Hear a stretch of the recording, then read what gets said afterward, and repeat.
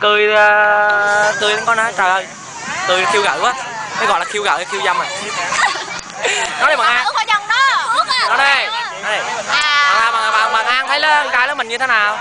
À con trai lớp mình. À nói chung là rất là ga lăng. Ok nhưng mà có một số thằng bị biến thái. Ví dụ như bạn Phước. Trời ơi bà phước.